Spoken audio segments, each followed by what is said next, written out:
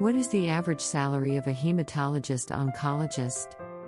According to the Journal of Oncology Practice, the United States will face a shortage of hematology and oncology doctors in the future if current cancer rates continue.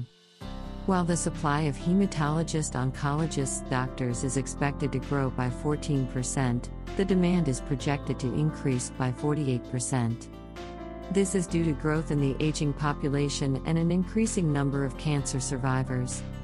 This potential shortage in practicing doctors indicates a good job market and strong job security for future hematology and oncology physicians.